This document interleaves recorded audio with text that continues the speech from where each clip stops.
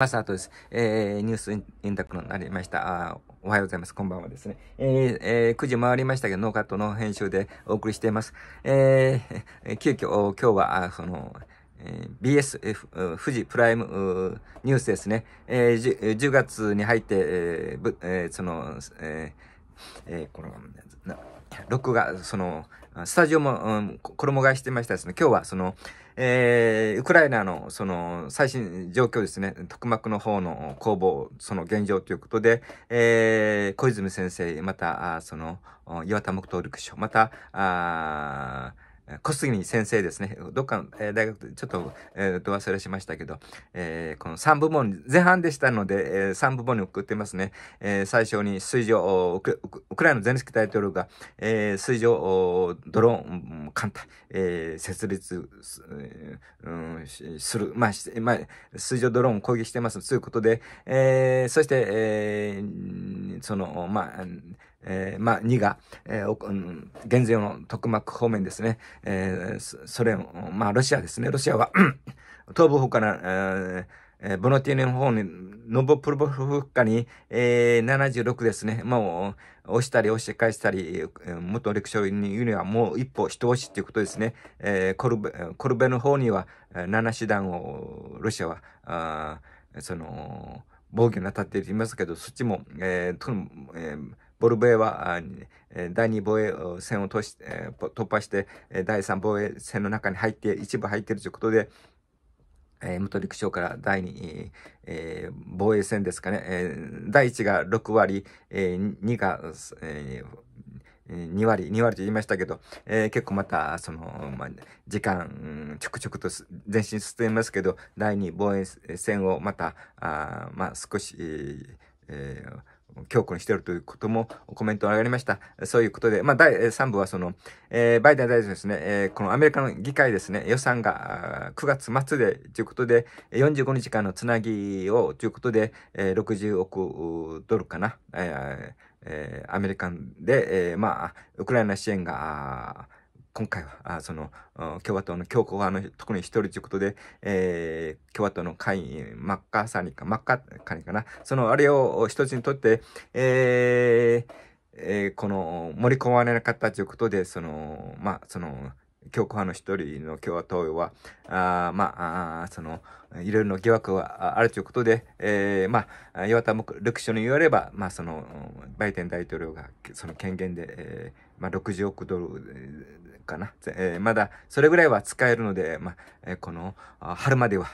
枯渇しないけど、弾薬ですね、なかなか、えー、よく、その、えー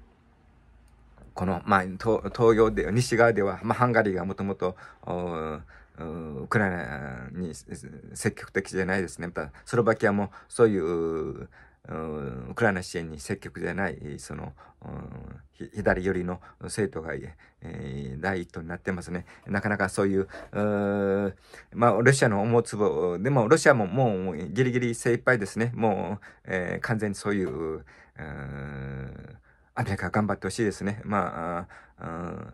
そういう、まあ、経済、えー、政治、えー、全部連動していますので、えー、この、ウクライナに、え、この、プーチンによる本当に、この、現状、これですね、最初の、見通しは甘かったですね。完全に、このプーチン大統領のこの、武力の現状変更ですね。え、2、3日で9を取るつもりが、全土を取るつもりがそういかなくて、えー、北部では撤退してますね。えー、そして、えー、この、まあ、イジューム、クパンスク、またリマ、あうん、ですね。もう、もう、えー、今、クパンスクではその、えー、特に、えーうん顔ですね。クパンスくなっている。何顔かったかな。押し付ける顔かな。そこの橋を狙ってますね。えその、押し付ける側より向こうの、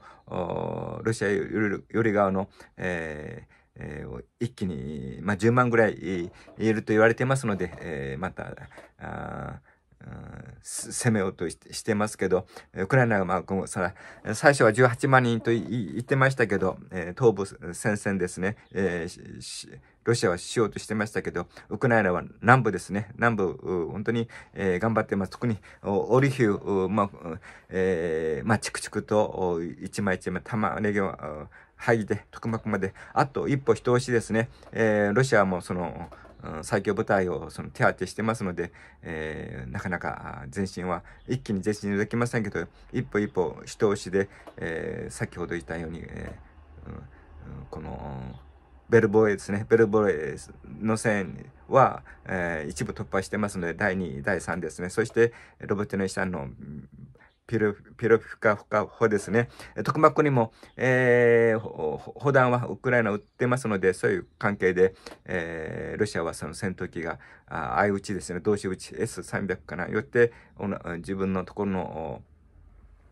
えー、戦闘機を撃ち落としてますね。そういう誤射もありますけど、えー完全にその水上ドローンですね。また水中ドローン、もうウクライナはまた話が戻りますけど、えーえー、その海軍ないですけど、ロシアの、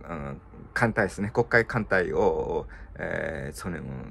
オデサからその西側ですね、特に穀物輸出ですね、えー、まだ合意があります。ので、まあ、ロシアは離脱しましたけど、その合意を、まあ、トルコも艦隊守ってくれますので、えー、特にロシア艦隊がそういう穀物を、特にその政界権ですね、えー、まだ、えー、潜水艦は、6隻ありますね。1隻はもう監督でやっつけましたけど、そういうことで、国会艦隊、えー、まず潜水艦ありますけど、えー、ウクライナも、えー、水上ドローン、ええー、その、えー、侵攻前に、えー、一隻フル系とかがありましたけど、ロシアに捕獲されるよりか、えー、オデッサの沖で、えー、自爆、えー、実沈してますね。えー、もう、えー、沈没させてますね。自らそういうフルゲーとか、うんウクライナには海軍がないですので、まあ、海兵隊が800人ぐらいかな、いて、いたれ、イギリスで一応訓練を受けています。まあ、そういう着々とですね、えー、この、特に、えー、国会の司令部、また指揮所、またいろいろ高覚値目標ですね、クリミア半島の、また、ストーム車上、今、ネプチン改良型とか、あもう、なかなか、まあ、エータクモスは送られてますけど、えー、ハイマース送られてますけど、エータクモスはまだですね、そのエータクス、また、あドイツのタウルスですね、なかなかその、えー、タウルスもその、おまああ、えー、その戦車は、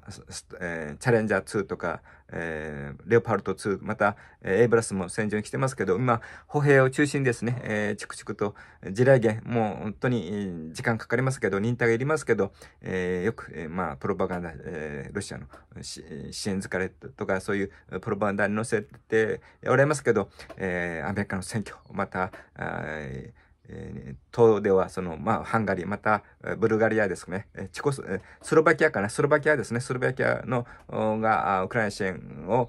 が積極的じゃないですけど、えー、このウクライナ頑張ってほしいですね。えー、その、もう一押しですね、えー、この、えー、まあ、いろいろと、ウクライナは、